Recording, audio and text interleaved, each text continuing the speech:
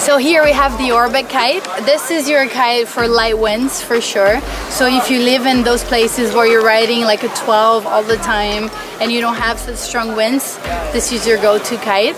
This is also a really good kite for big air and boosting high. So if you want to work on your board offs and you know just learn how to jump high and that's what you enjoy doing, I highly recommend this.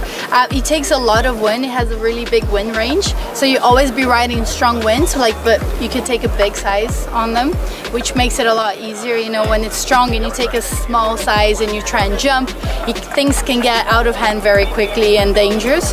So this will like assure that you can go with a bigger kite, still jump, have an amazing hang time, but not such a fast, crazy kite up there. So yeah, the Orbit is your go-to kite for like light winds and then high jumps as well. This one will be more for a beginner foiler. But the Orbit will give you a lot of lift. And uh, once you're starting it's good to have that lift because it gives you support for your foiling skills. You know if you're not that good at it it takes your weight a little bit out of the foil. So for light winds and a beginner foiling will be this